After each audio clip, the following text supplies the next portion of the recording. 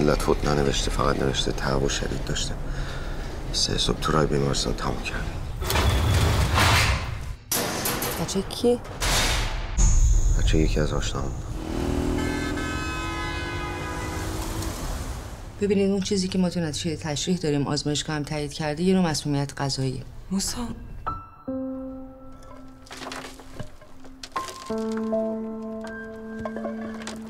عجب. قیزم می‌گیره دلم می‌خواد.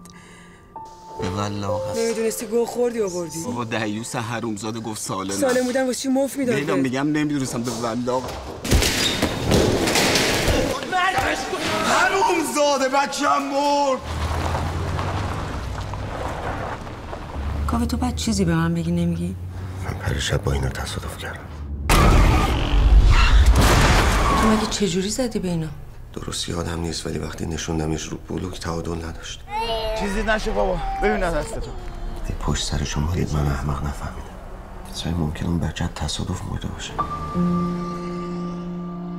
در تو شما خودتون زیر مجموعه دستگاه غذا هستید. می‌دونید که اظهاراتتون اقرار به حساب میاد.